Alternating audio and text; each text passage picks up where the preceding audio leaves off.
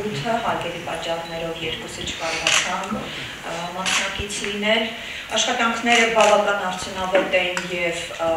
ըստ էության կարող ենք ասել մեր նպատակներից եւ մեր արժեվ դրված խնդիրներից գրեթե կրկնակի ավել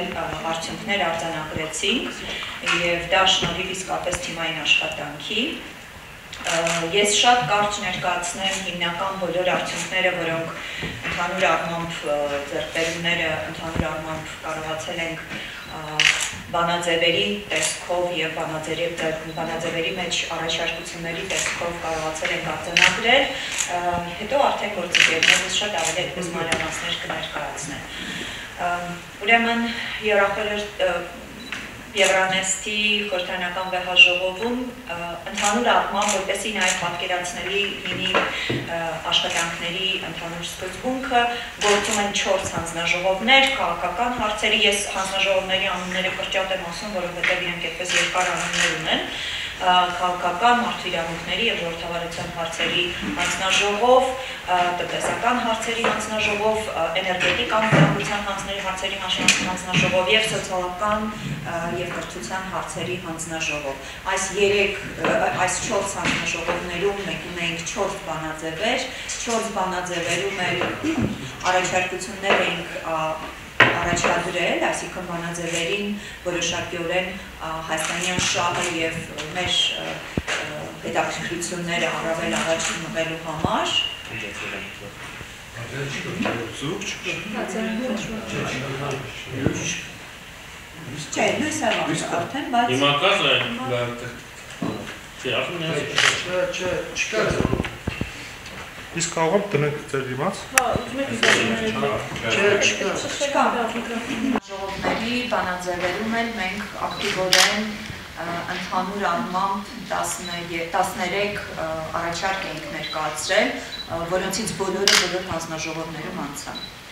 Եվ սա կարծում եմ իսկապես շատ մեծ հաջողություն է, որովհետև օրինակ սոցիալական հանձնաժողովում առաջարկել էինք, որ անպայման կրթության խնդիրների մասով բանաձևում ներառվի բացառումը բոլոր երկրներում, հատկապես բոլոր արևելյան գործընկերության երկրներում բացառվի այլատիացության, քարոզը եւ այլատիացության ուսուցումը պետական մակարդակում եւ նաեւ այլընտրանքային կրթական համակարգում։ Սա բնականաբար վերաբերում է Ադրբեջանի հայատյացության, քարոզին եւ հայատյացության քաղաքականությանը եւ այս բանաձևը նաև անցավ։ Հիմնական հաջողությունը, որ կարող ենք մատնանշել, դա եւ բավական դժվարությամբ հնարավոր դարձավ կասեցնել, դա ադրբեջանական հերթական նախաձեռնություններ կապված մեծամորի ատոմականի փակման, որը հենց ուղիղ բառերով էր շեշտում, որ պետք է բոլոր ջանքերը եւ հողական միությունը ներդնի, որպեսի հնարավորինս կարճ ժամկետներում ատոմականի փակման հարցը եւ փակման գործընթացները եւ դրան դրանից հետեւող դրան հետեւող բոլոր գործընթացները իրականացվեն հենց քվեարկությունից առաջ հանձնաժողովի եւ հանձնաժողովում ձայն վերցրեցի եւ երկար փաստարկներով նաև ներկայացրեցի, թե ինչու է սա այս առաջարկությունը անընդունելի նաև ներկայացրեցինք Մագատեի զեկույցից հատված, որ որտեղ հստակ շեշտադրում է, որ ատոմակայանը մեծամորի ատոմակայանը բավական իր անվտանգության մակարդակում բավական առաջընթաց է ապահովել վերջին 2-3 տարիների ընթացքում։ Հստակ նաև շեշտադրում արվեց նաև ՍԵՊԱ-ի պայմանագրով մեր հանձնառություններին, որոնք հստակ նաև սահմանում են, թե ինչ գործընթացով եւ ճանապարհային ինչ կարտեզով պետք է առաջընթաց ապահովենք, նաև հստակ սահմանում է, որ ինչև նոր ատոմակայանը չկառուցվի այս ատոմականի փակման հարցը մեծ հաշվով նաև օրակարգից պետք է դուրս գա։ Ի խոսքով իհարկե դրան հակադարձ ելույթ եւս եղավ, բայց նաև կրկին ես հակադարձեցի եւ հստակեցնելով նաև Թուրքիայի մասով օրինակը վերելով հստակեցրեցինք, թե ինչու է սա խիստ կողմնակալ եւ քաղաքականացված առաջարկ ըստ էության այս բոլոր փաստարկները իսկապես ազդեցություն ունեցան եւ բոլոր պատգամավորները, արևելյան գործընկերության եւ նաեւ Եվրախորհրդարանի պատգամավորները դեմ քվեարկեցին այս նա առաջարկին եւ կողմ քվեարկեց բացառապես ադրբեջանական պատվիրակության ներկայացուցիչները կամ ներկայացուցիչը կարծեմ այդ հանձնաժողովում մեկ մեկ ներկայացուցիչ ուներ քաղաքական հանձնաժողովում մենք ունեինք 8 առաջարկ եւ բոլոր 8 առաջարկները անցան եւ այստեղ առաջարկներից ամենակարևորը այն էր, որ ամրագրվում էր փաստաթղթում, որ Հայաստանը եւս բավական լուրջ առաջընթաց է ապահովել ՍԵՊԱ-ի համաձայնագրի, նաև ճանապարհային քարտեզի աշխատանքների ուղղությամբ մի քանի այլ առաջարկներ կային կոռուպցիայի մակարդակի նվազեցման եւ համագարկային կոռուպցիայի մակարդակի նվազեցման եւ դրա դեմ պայքարի ուղղությամբ եւ այլն։ Այսինքն մեզ համար շատ կարեւոր էր, որ այս 8 առաջարկները անցան։ Ադրբեջանական կողմի համար իհարկե շոկային էր լիագումար նիստի բացման արարողությանը իմ ելույթը, որի ընթացքում իդեպ ուղղակի ասեմ, որ ելույթի հնարավորության մասին մենք իմացել ենք ընդամենը 15-20 րոպե առաջ եւ շատ արագ ուղղակի այդպես կայծակնային արագության տակ ենք ելույթը գրել եւ հիմնական շեշտադրումներ եւ մեր հիմնական ասելիքը շատ արագ եւ ուղղակի այդպես ցայտնոտային վիճակում ենք գրել, բայց հաջողված է շատ, որովհետեւ հիմնական ասելիքը հնարավոր դարձավ հասանելի դարձնել, այսինքն քանի որ Եվրանեստի բացման արարողություններ հիմնականում նաև խոսեցի Հայաստան, Եվրամիություն հարաբերություններից, շեշտադրելով թե նաև մենք ինչ հանձնառություններ ունենք եւ ինչ ակնկալիքներ ունենք Եվրամիությունից եւ Արևելյան գործընկերության այս հարթակներից, շեշտադրելով որ Եվրամիությունից նաև մեր ակնկալիքը անվտանգության մասով աջակցությունն է եւ անվտանգության հարցերի շուրջ դիրքորոշումը, ինքնորոշման իրավունքի շուրջ աջակցությունը եւ Արցախի ժողովրդի անվտանգության ապահովումը եւ այլն, բայց նաեւ քանի որ բացման արարողությունը հենց դեկտեմբերի 9-ին էր, իսկ դեկտեմբերի 9-ը բոլորս գիտենք, որ ՄԱԿ-ի ցեղասպանությունների կանխարգելման օրներ առիթից օգտվեցի եւ խոսեցի նաև հայ ցեղասպանության մասին, որ մենք հանձնառություն ունենք ոչ միայն բոլոր հնարավոր առիթներով նշելու եւ հարգանքի դուրս մատուցելու հայց ցեղասպանության զոհերին, այլ նաև ամեն ինչ անել կանխարգելման ուղղությամբ եւ ոչ արեցի բոլոր ներկաներին հարգանքի դուրս մատուցել հայց ցեղասպանության զոհերի, հայց ցեղասպանության եւ բոլոր ցեղասպանությունների զոհերի հիշատակին Բոլորը ոտքի կանգնեցին իհարկե բացառությամբ ադրբեջանցի մեկ պատգամավորի դեպ մյուս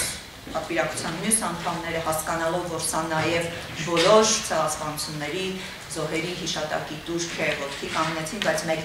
պատգամավոր ուղղակի այդպես էլ չհասկացավ իր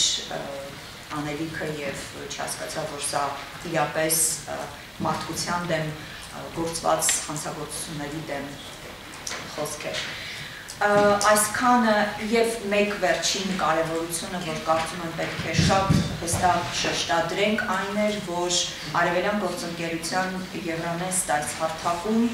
եւ ընդհանրապես կարծես թե նաեւ այս միտումը գնում է դեպի Եվրախորհրդարան որոշակի նպատակադրում կա 3 երկրները, ասոցիացման համաձայնագիր կնքած 3 երկրները, դրանք են Վրաստան, Ուկրաինա, Մոլդովա, առանձնացնել արևելյան գործընկերության շրջանակում եւ փորձել իրենց համար շատ ավելի այդպես առանձին եւ շատ ավելի թիրախային ծրագրեր իրականացնել։ Մեր խնդիրն էր, որպեսի Հայաստանը այդ առանձնացված տիրույթում ունենա իր առանձին եւ հստակ տեղը բավական դժվար էր այդ ուղղությամբ պայքարել, որովհետև դեռևս առաջին իսկ օրվանից խորհրդի Եվրանեստի բյուրոյի նիստին, որը որոշում կայացնող փոքր մարմին է, որին որի մասնակիցներն են միայն պատվիրակությունների ղեկավարները եւ Եվրախորհրդարանից ամեն խմբակցության ներկայացուցիչ երկար կրվի պայքար էր, որ որևէ կերպ անգամ վերբալ ուղղակիորեն բառային մակարդակում Հայաստանը չդնեն նույն հարթության վրա, ինչ Ադրբեջանին, այսինքն այնտեղ ինձ անհրաժեշտ եղավ երկար պատմություն պատմել թե Ադրբեջանում մարդու իրավունքների մասով ինչ խախտումներ են եւ ինչպես դուք կարող եք ընդհանրապես համեմատել Հայաստանը Ադրբեջանի հետ Ընկալումը այդ ժամանակ եղավ, դրանից հետո եւս մեկ նիստ էր ասոցիացիան համաձայնագրի վերաբերյալ այդտեղ եւս բավական երկար ելույթ ունեցա կրկին նույն փաստարկները ներկայացնելով նաև արդեն լիագումար նիստին եւ վերջապես մենք կարողացանք հրատապ ընթացակարգով բերված վերջին բանաձևում, որը որի համար ընդհանրապես տրվում է 2 ժամ առաջարկ ներկայացնելու այդ երկու ժամվա ընթացքում հնարավորություն ունեցանք ոչ միայն եւ այստեղ արդեն իսկապես բոլորի անմիջական ներգրավվածությունն է շատ կարեւոր, բալ այդպես ան, անհատապես բանակցել բոլոր պատգամավորների հետ, որպեսզի քվեարկեն այս բանաձևի առաջարկներին, մեր առաջարկներին եւ հնարավոր դարձավ այդ բան քվեարկությունը։ Երեք մեր առաջարկներն ներառվեցին եւ ստացվեց, որ այդ տրիո strategy մեջ, հենց բանաձևը այդպես էլ կոչվում է, տրիո plus strategy եղավ եւ այդ տրիո plus-ի մեջ հստակ սահմանվեց, այսինքն ամբողջական մեկ բարբերությամբ սահմանվեց, որ Հայաստանը առանձին Trio Plus 1 կարգավիճակ կունենա։ Եվ ուզում եմ այստեղ նաև մատնանշել, թե այդ բանաձևում հստակ շեշտադրվել է նաև այսպիսի փոքր բարբերություն Եվրանեստում հայկական պատով մեկ րոպե IDEA միջազգային կազմակերպության The Global State of Democracy 2019 տարեկան զեկույցում, դա մի զեկույց է, որը զեկույց է, որը ամեն տարի չափում է բոլոր երկրներում ժողովրդավարության զարգացման ընթացքը։ Այստեղ շեշտվում է, որ Հայաստանը Եվրոպայում ժողովրդավարացման գործընթացում ամենամեծ առաջընթացն ապահոված երկիրն է այս հատվածը հենց ներառվել է բանաձևում, այսինքն շատ կարևոր էր, որ բանաձևում մենք ունեցանք Հայաստանին վերաբերող 3 առանձին կետեր, որոնք սահմանում են, որ Հայաստանը այս տարածքում եւ արևելյան գործընկերության մեջ ժողովրդավարության աննախադեպ աճ ապահոված երկրներից մեկն է։ Այս պահին աստքանը ներողություն, ես տնտեսական հանձնաժողովի մասով չխոսեցի եւ այնտեղ եւս ունենք շատ կարեւոր հաջողություն։ Տնտեսական հանձնաժողովի համանախագահը պարոն Տարոն Սիմոնյանն է եւ կխնդրեմ հենց ինքը ներկայացնի այնտեղ ունեցած մեր հաջողությունները։ Շնորհակալություն։ Տնտեսական հանձնաժողովում էլ ինչպես մնացած հանձնաժողովներ մենք առաջարկություններ ունենք եւ մեր առաջարկությունները ամբողջությամբ ընդունվեցին ունենք եւս մեկ առաջարկություն, դա հաջորդ տարի տնտեսական հանձնաժողով, ընդհանրապես հանձնաժողովը կոչվում էր տնտեսական, իրավական մոտարկման եւ Եվրոմիության քաղաքականության համաձայնեցման հանձնաժողով։ Եվ այս հանձնաժողովի շրջանակներում ամեն տարի քննարկման ինչ-որ թեմա է լինում եւ այդ թեմայի շրջանակներում Եվրոպական պարլամենտից կամ հասարակական սեկտորից կամ ազգային պարլամենտներից ելույթներ են տեղի ունենում եւ այդ թեմաների քննարկման ժամանակ 10-ից ավելի առաջարկ եղել եւ մեր առաջարկությունը, մեր պատվիրակության առաջարկությունը գերակայեց մնացած առաջարկությունների նկատմամբ եւ ընդունվեց որպես հաջորդ տարվա քննարկման թեմա։ Իսկ առաջարկության թեմայի վերնագիրը հետեւյալն էր՝ կրթության եւ տնտեսության սիներգիան, Եվրոմիության եւ Արևելյան գործընկերության պետություններում, այնպես որ եկող տարի, երբ որ Երևանում տեղի ունենա արդեն հանձնաժողովի նիստը, քննարկման հենց թեման պետք է լինի կրթության եւ տնտեսության փոխ ներազդեցությունը ժամանակակից իրականություն։ Սա տնտես տնտեսական հանձնաժողովում գրանցված հաջողություններ մեկ բան է բացապես ադրբեջանը հայկական այսպես պայքարից նշել, որ մեր ադրբեջանցի գործընկերը ելույթում նշեց, որ Հայաստանը կրկին անգամ միջազգային իրավական պարտավորություններ է խախտել, երբ որ չի արտահանձնել Ադրբեջանին երկու քաղաքացիների Ադրբեջանի, ովքեր որ խախտել էին Արցախի հանրապետության սահմանը, խոսքը վերաբերում էր այն դիվերսանտներին, ովքեր որ դատապարտվել են ազատազրկման, եւ մենք ես ելույթումս նշեցի հակադարձեցի ադրբեջանցի մեր գործընկերոջը ասելով որ միջազգային լեվական բոլոր գործընթացներում Հայաստանը դրսևորել է բացառիկ զգոնություն եւ որևէ ֆակտոր չկա այդ անձին ռազմագերիներ չեն նրանք ազատես հանցագործներ են եւ դատապարտված են քրեական օրենսգրքով սահմանված կարգով մարդասպանության եւ ահաբեկչական ակտերի համար եւ սա է կրկին անգամ փաստեցին որ Ադրբեջանը փաստորեն առիթը բաց չի թողնում հնարավոր ամեն ինչ օգտագործի այդ բարձր հաշվարկներում հապահի հաղթահարություններ անելու համար բայց կարծում եմ արժանի պատասխանը ստացա այսքան Շնորհակալություն։ Ես մոռացա իհարկե նշել թերևս ամենակարևորը, որ հաջորդ տարի Եվրանեստի հանձնաժողովների նիստերը անցկացվելու են Հայաստանում։ Սա իսկապես կարծում եմ շատ կարևոր է, որովհետև 2015-ից ի վեր Հայաստանը չի հյուրընկալել Եվրանեստի Եվրանեստի ընդհանուր հարթակը ներկայացնող Արևելյան գործընկերության եւ Եվրախորհրդի պատգամավորներին, այնպես որ լավ հնարավորություն է նաեւ տեղում ծանոթանալու մեր երկրում արկա փոփոխություններին Խնդրեմ հարցերով Ես փոքրիկ Հա,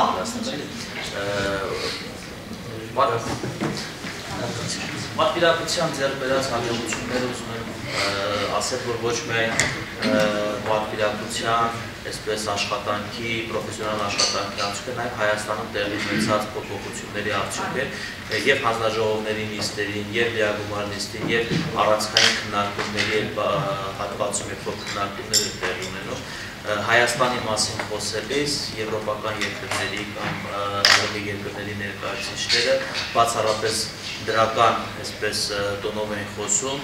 հեղափոխությունից հետո Հայաստանում տեղի ունեցած եւ դրանով պայմանավորված փոփոխությունները եւ ըստ մեր այս պրոֆեսիոնալ աշխատանքի համար շատ կարեւոր այսպես հողեր նախապատրաստել նաեւ Հայաստանում տեղի ունեցած եւ շարունակվող փոփոխությունները, որը ներկայացվել նաեւ այսպես համաեվրոպական եվրոպական քաղաքացիությանը համահունչ փոփոխություններ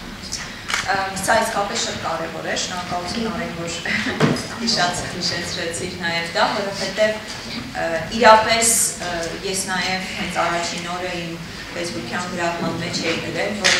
չափազանց ավելի վստահ եւ քո պահանջները շատ ավելի վստահ դիրքերից ես կարողանում ներկայացնել եւ երբ իսկապես դու գիտես որ ներկայացնում ես լեգիտիմ իշխանություն, բոլորովին լեգիտիմ բացարձակ լեգիտիմ իշխանություն եւ բացարձակ լեգիտիմ ընտրությունների միջոցով ձևավորված ազգային ժողով եւ այս առումով ընկալումը բոլորովին տարբեր է ինչպես քաղաքական հանձնաժողովի նիստերի նիստի ընթացքում, որին բազմաթիվ նաև ելույթներ էին ունենում փորձագետներ ներկայացնելով ընդհանրապես արևելյան գործընկերության երկրներում արկա քաղաքական, ժողովրդավարական, մարդու իրավունքների վիճակը եւ այլն, իմ գործընկեր Սարգիս Խանդանյանը ասաց այս հանձնաժողովի նիստը կարծես թե Հայաստանի մասին հանդես լիներ, որտեղ իսկապես անընդհատ բոլորը շեշտադրում էին, որ Հայաստանը այն եզակի երկիրն է, որը մեծ հաշվով նաև արևելյան գործընկերության համար հաջողության պատմություն է դարձել, որովհետև տարիների աշխատանքը արդեն արևելյան գործընկերությունը այս տարի նշում է 10-ամյակը եւ այդ 10-ամյակի ընթացքում ժողովրդավարացման բոլոր գործընթացները որոշակիորեն եւ Վրաստանում եւ Ուկրաինայում ուղեկցվել են հետագայում թե պատերազմով, թե նաեւ ներքաղաքական որոշակի խնդիրներով Հայաստան այն եզակի պետությունն է, որ այս առումով ժողովրդավարական այս գործընթացը շատ ավելի անցնցում է անցել, այնպես որ իսկապես այս առումով մեզ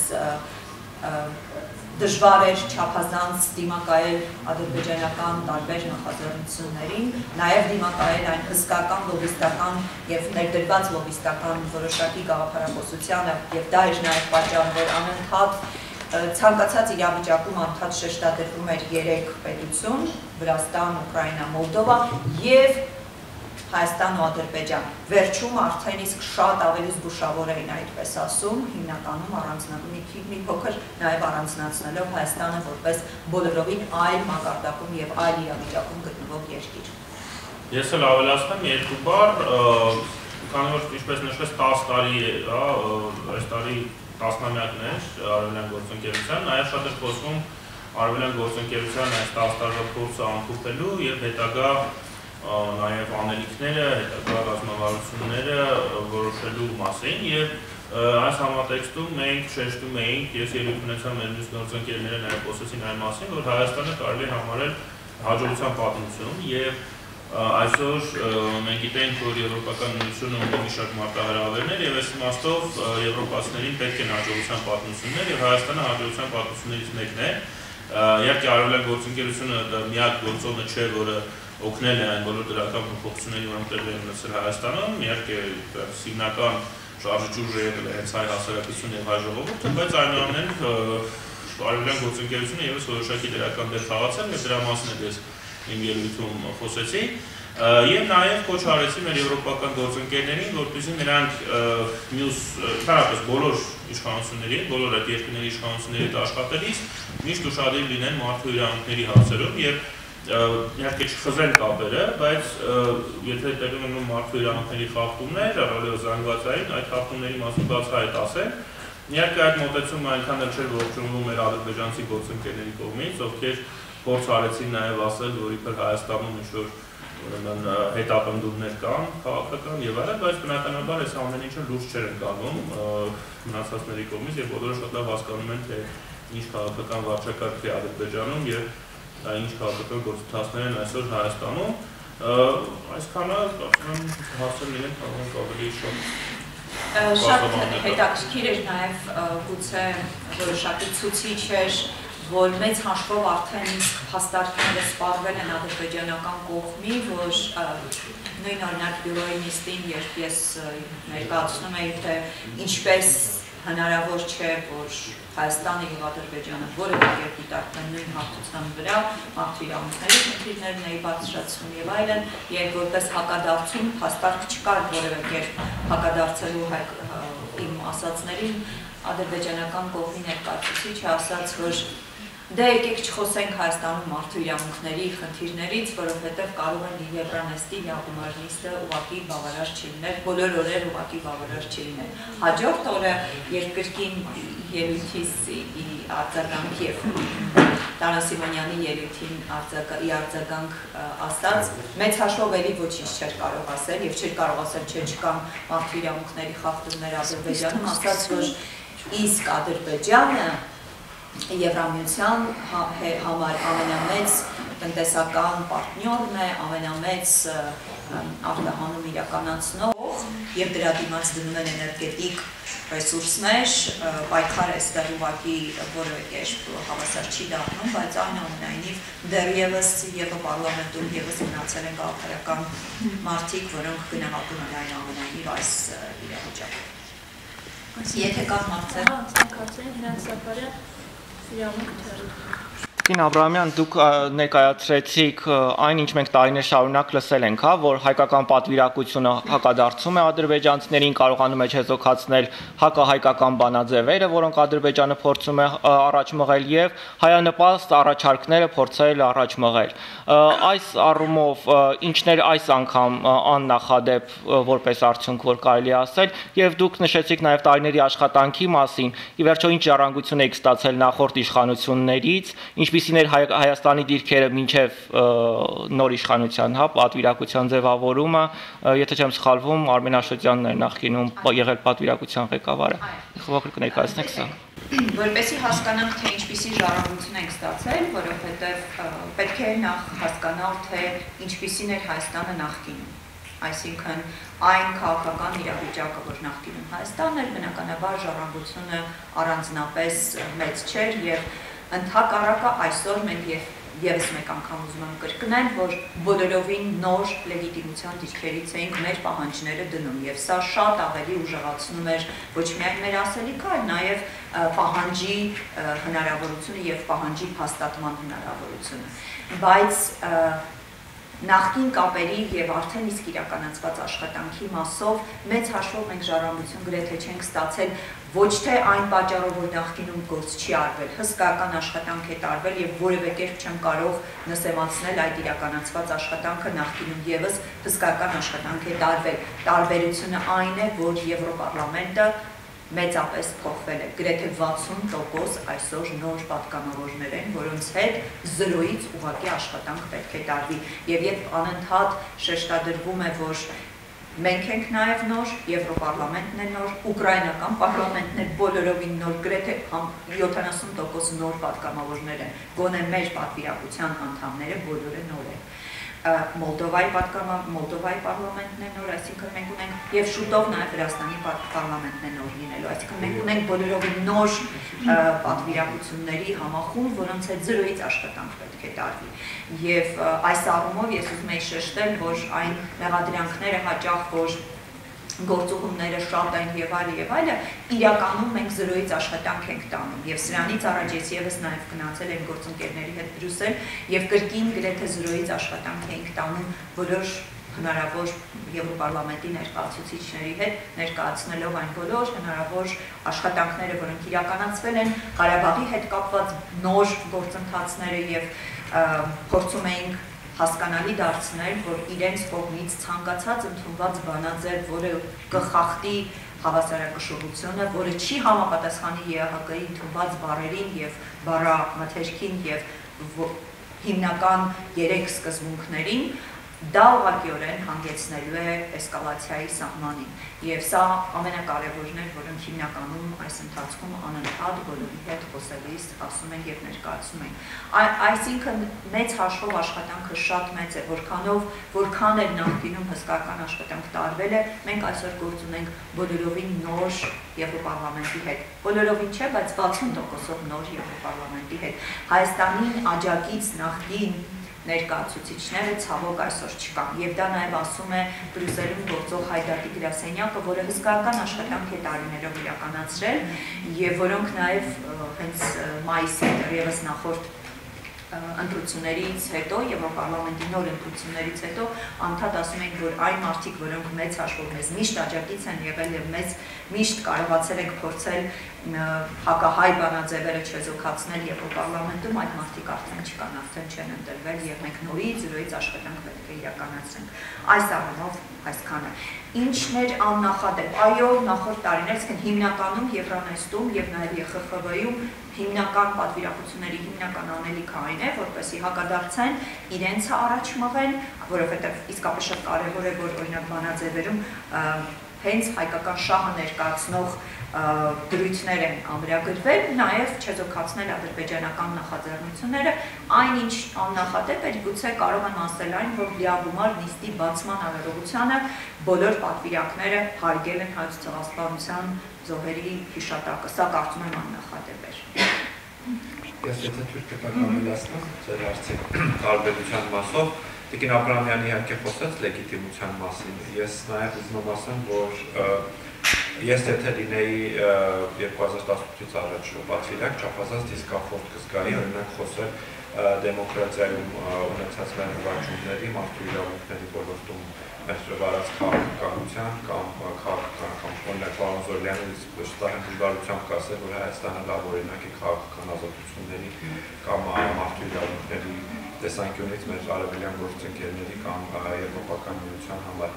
Այս տեսանկյուն այս առումով այն ամենը, ինչ մենք խոսում ենք եւ ներկայացնում ենք այն այնտեղ, հենց դա էր նկատի ունենք եւ խոսում ենք արդյունքների մասին։ Մեկ տարբերություններից մեկն է այս ինքնավստահություններ եւ կայուն հենարանը, որը այստեղ հստակ է։ Մերի Մարտիրոսյան, ինչո՞ւ չունեմ հարցունել ես ներկայացնել։ 160-յան Սվակ Խաչատյան, Տիկին Աբանյան քան որ նախորդ պատվիրակության վերաբերյալ հարց եղավ, ես շարունակեմ։ Էնի նախորդ գումարման ազգային ժողովի պատվիրակությունը Եվրանեստի այսպիսի ավանդույթ է ձևավորել, որի Եվրանեստի յուրաքանչյուր բռնարնիստին ընդունում էր բանաձև, որը գտնում էր Հայաստանի շահերից, որպես օրինակ 2017-ին, երբ Արմեն Աշոտյանի նախաձեռնությամբ դրոների օգտագործման, ռազմական դրոների օգտագործման տարածման բանաձև ընդունվել էր, այնուհետև 2018-ին Դյուսելում Գերմանիության հետ պայմանագրի վավերացման հետ կապված բանաձև ընդունվեց։ Հիմա դուք այդ ավանդույթը շարունակում եք, մեր պատվիրակությունը այդ ավանդույթը շարունակում, շարունակում է թե ոչ։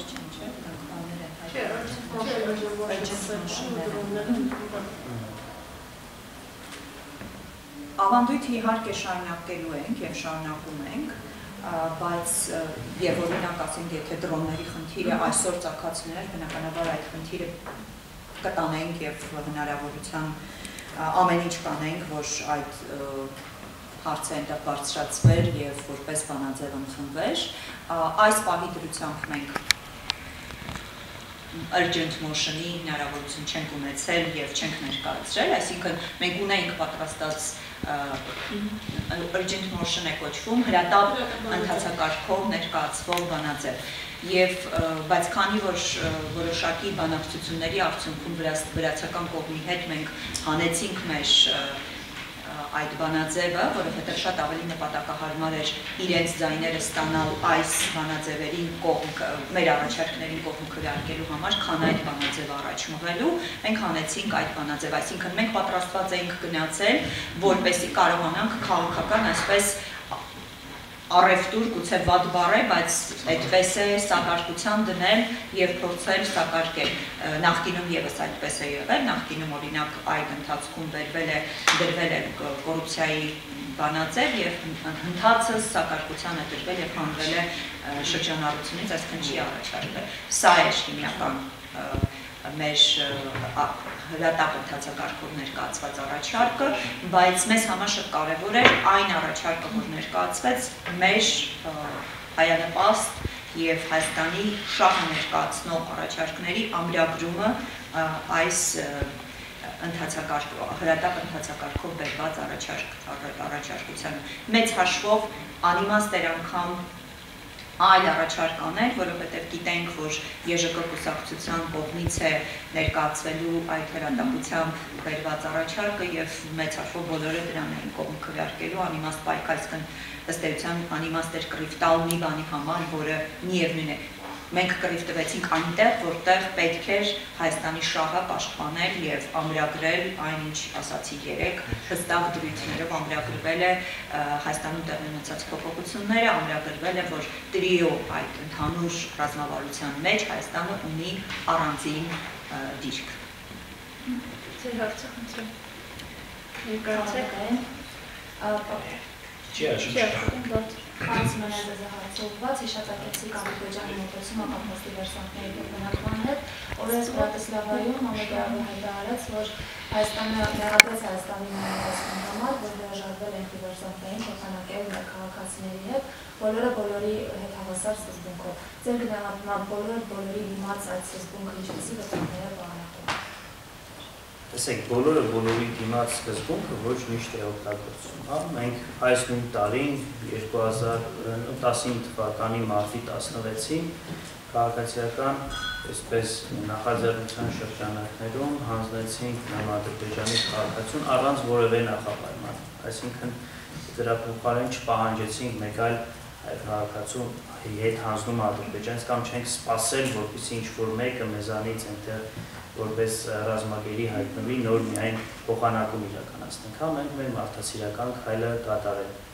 Այս տեսանկյունից պետք է հաշվի առնենք, որ մենք նույնը ակնկալում ենք նաև Ադրբեջանից, որ մեր քաղաքացիները երբ որ պատահաբար հայտնվում են սահմանից այն կողմ, համապատասխան գործընթացով նաև Կարմիր խաչի աջակցությամբ ետ վերադարձվեն Հայաստան։ Ինչ վերաբերում է ձեր կողմից նշված դիվերսանտներին, նրանք չեն կարող վերադարձվել։ Նա նրանք գտնում են Արցախի հանրապետությունում, դատապարտված են, եթե չեմ սխալվում, 22 տարվա ազատազրկման, մեկ ավելի քիչ ազատազրկման, նրանք դատապարտված են քրեական օրենսգրքով սահմանված կարգով Արցախի հանրապետության եւ նրանք որևէ կապ չունեն միջազգային մարդասիրական իրավունքի դրույթների Գիտեք, որ նման գործընթացները հենց միջազգային մարդասիրական իրավունքի շրջանակներում են տեղավորվում եւ այդ հանձնման գործընթացները եւս այդ իրավակարգավորման տակ են գտնվում։ Սակայն այդ անձին կոնկրետ հեղադրվում են մարդասպանության մեջ, որովհետև 17 տարեկան անչափահասի են սպանել, սպանել մի հատ քաղաքացիական անձի, մեկ քաղաքացիական անձի եւ մենք երիտասարդ կնոջ անմայական վնասվածքներ են հասցրել եւ բնականաբար սա որևէ ձևով չի տեղավորվում 49 թվականի Ժնևյան կոնվենցիաների կարգավորման։ Դուք գիտեք, որ նրանցից մեկը ռազմագերին է ռազմագերիներին է վերաբերում, մյուսն քաղաքացիական անձանց պաշտպանությանը եւ բնականաբար այս անձանց նկատմամբ դրանք տարածելի չեն։ Իսկ ձեր կողմից նշված այսպես ասած հայտարարությունը որևէ ձևով վերաբերելի չի կարող լինել նույն այս անձանց նկատմամբ որևէ գործընթաց սկսելու։ Նրանք հանցագործներ են եւ նրանք պետք է իրենց պատասխանատվությունը կրեն մինչև վերջ։ Գիտեք, այս հարցը նաև այնտեղ բարձրացվեց եւ պարոն Սիմոնյանը շատ հստակ դրան պատասխան տվեց, գրեթե այնպես ինչպես այստեղ եւ որևէ դրանից հետո որևէ առարկություն չեղավ, որովհետեւ մեծ հաշվով եւ փաստարկներ ես ներկայացնում փաստարկների դեմ ոչինչ ասելու չի մնում գոնե իրենց կողմից։ Ձեր հարցը խնդրեմ։ Տիկին Աբրահամյան քաղաքացիական պայմանագիրը բանակցում է կամ նախատեսում է անդամակցել եվրոպական քաղաքական որևէ ընտանիքի, որովհետև եթե չեմ սխալվում, Ժառանգությունը ու Հանրապետականը նման անդամ են հանդիսանում, եթե կան այդ բանակցությունները, արդյոք դա տեղավորվում է վարչապետի այն հայտարարության մեջ, որ քաղաքական ըստ մեկ գաղափարախոսություն չունեն։ Քաղաքական իզմերի հայտարարության մեջ բնականաբար քաղաքական կուսակցությունների խմբակցությունների հետ, որոնք այսօր գործում են Եվրոպարլամենտում, որևէ առնչություն չի կարող ունենալ, որովհետև ընդհանուր առմամբ դու գիտես քո քաղաքականությունը եւ ընդհանուր մոտեցումը քաղաքական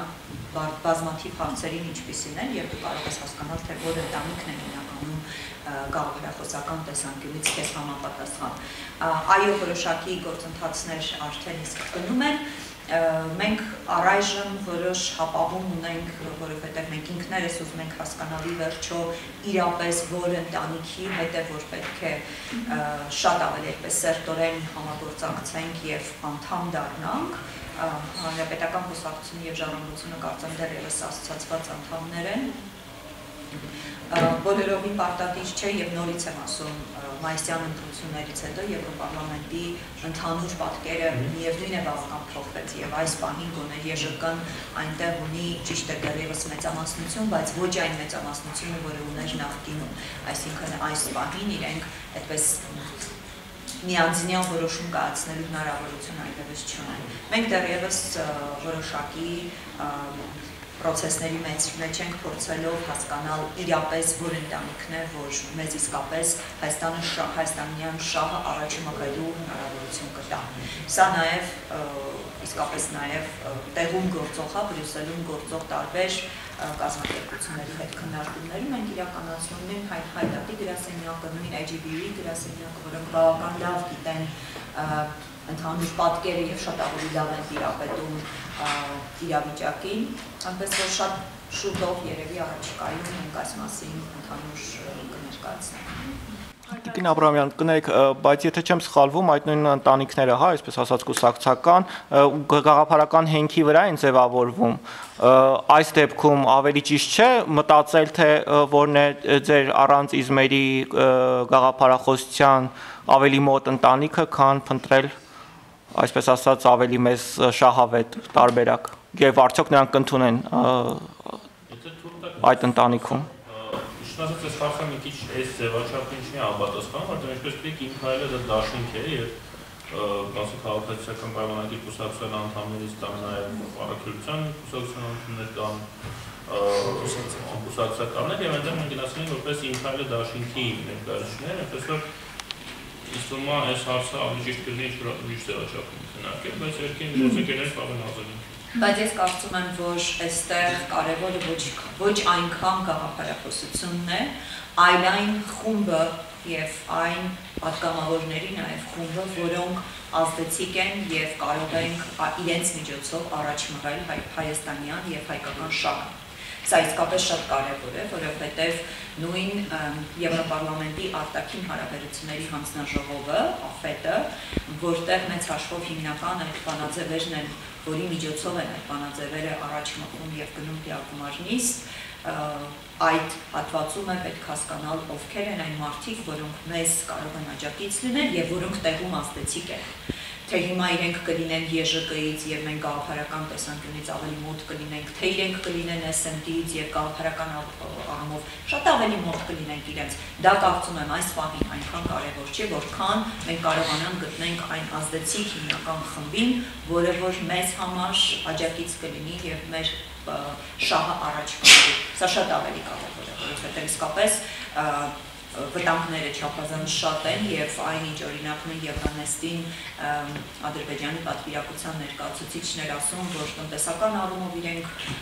հսկական ելումուտ ունեն, հսկական ներդրումներ ունեն Եվրամիության տարբեր երկրներում եւ այլն, սա իսկապես ազդեցություն է ունենում եւ քաղաքական իմաստով է ազդեցություն ունենում։ այսինքն իրենց գումարների այդ ներդրումները չեն կարող բնականաբար բնականաբար չունենալ ազդեցություն։ Եվ այս առումով մեզ համար շատ ավելի կարևոր է աշխատել այն մարդկանց հետ, որոնք գաղափարական են, որոնք շատ ավելի պատկերացնում գնահատում են ժողովրդավարության արժեքը, քան ներդրումները եւ տնտեսական շահը, որը կարող է առաջարկել Ադրբեջանը։ ձեր հարցը։ Պարզալյան եք ճշտում ադրբեջանական պատվիրակությունը ինչպես է փորձում հիմնավորել կանոնիչության թե ներկայացնում այն փաստերի Հայաստանի պետք քաղաքական հետապնդումներն եւ այս մասով հայկական պատվիրակությունը ուներ արձագանք թե առաջնորդվել են այս սկզբունքով, որ հայտնի է Հայաստանի միջև կատարում իրական։ Չէ, դա ընդհանրապես ռեպլիկ էր իրենց կողմից, որ եկեք չխոսենք քաղաքական հետապնդումների մասին, որովհետև Հայաստանում դրան շատ են եւ այն, որը իրականում դա արձագանք էր մեր ելույթներին, որտեղ մենք բավականին փոշ քննադատեցինք Ադրբեջանը տարբեր տեսակետներից եւ մարդու իրավունքների առումով, նաեւ հիշեցրեցինք Իլհամ Ալիևի վերջին հայտարարությունը, որտեղ հայտարարություններից մեկը, որտեղ նա ասել էր, որ Ադրբեջանը չի ուզում գնալ Եվրոպա, որտեղ չգիտեմ կանանց եւ տղամարդկանց չեն տարբերում, որը իսլամը Եվրոպան իսլամոֆոբ է, առապում եւ այլն, եւ այդ հայտարարությունները նրանք նաեւ հիշեցրեցին։ Իհարկե այդ ամեն ինչը կոռեկտության սահմաններում, որտեղ դեռ նաեւ պետք է հասկանալ, որ ի վերջո արևելյան գործընկերության հիմնական նպատակը չի հայ-ադրբեջանական հարաբերությունների մասին խոսելը եւ մենք այս ամեն ինչը մենք որոշակի կոնտեքստի մեջ ու համենը կարծում եմ այստեղ նախաձեռնությունը այսպես մեր կողմն էր եւ ադրբեջանական կողմը պարզապես փորձում էր ինչ որ ձևով պատասխանել մեր այդ հայտարարություններին եւ կարծում եմ որ նաեւ դատելով մնացածների ռեակցիայից ակնհայտ էր թե որտեղ ինչ է կատարվում եւ ինձ թվում է որ բոլորը ամեն ինչ հասկանում են Ես էլ իրականում սրանից առաջ ասացի, որ մեծ հաշվով փաստարկներ չէին էլ ներկայացվում եւ այնքան զուրկ էին փաստարկներից, որ ուղղակի ասում էին դե չխոսենք Հայաստանում աղթիրավունքներից, որովհետեւ օրերը չեն բավարար, ես սա փաստարկ չի եւ սա ուղղակի հենց այն հիմնական ցուցիչն է, որ ուղղակի չունեն փաստարկներ եւ չունեն ասելիք մեծ հաշվով որևէ կոնկրետ դեպք չեն կարող Չէ, չէ, իհարկե որևէ կոնկրետ դեպք չեն կարող ինչպես օրինակ մենք ենք մատնանշում, հա, ասինքն ես երբ որ խոսում էի հայատյացությունից, ես հիշեցնում էի Եվրոպարլամենտի բոլոր պատգամավորներին, որ ինչպես կարող եք ընդհանրապես եվրոպական ընտանիքում ձեր նաև ինչի ժամանակ շփվելու անհատական զրույցներում իրենց որոշակի տեղեկություններ տալու, թե ինչ է կատարում նույն Ալիևի ելույթի մասին ոչ բոլորը գիտեն, ոչ բոլորն էին լսել։ Անձամբ ես այդ ելույթից հատվածներ, նաև հղումներ ուղարկել եմ առնվազն 6-7 հոգու, որոնք որոնց երբ որ ես պատմում եմ, իրենք ասում էին ոնց նման բան է ասվել, ասում էին հեսա հղումը կուղարկեմ, հղումը ուղարկում են։ Սա իսկապես ամենօրյա եւ անընդհատ ամեն ժամյա աշխատանք է, որովհետեւ մարդիկ Եվրոպարլամենտում այն ինֆորմացիոն աննասելի հսկական ծավալը, որ իրենք ստանում են, իրենք ուղղակի կորցնում են շատ բաներ, որոնք կարծում եմ մեր Հայաստանի շահից ելնելով շատ կարևոր է։ Եվ այդ առումով մենք իսկապես ամենօրյա աշխատանք պետք է տանենք եւ կարծում եմ բոլորը այդ ուղղությամբ աշխատում են։ Թեկուզ հենց մարդկային զուտ շփումների մակարդակով իրենց տեղեկացնելու ինչ է տեղի ունեցել։ Նույն 2016-ի մասին բավական երկար խոսել եմ օրինակ Ուկրաինայի գործընկերների հետ, որովհետև այնուամենայնիվ իրենք եւս ունեն խնդիր Հայաստանին դիտարկելով որպես ռուսական ծիրի մեջ գտնվող մի երկրի ով վերջապես միկրոֆոնը կարգավորվեց։ Եթե էլի հարցեր կան, եթե չկան, գուցե ավարտենք։ Միկրոֆոնը ուզում ասի ավարտենք։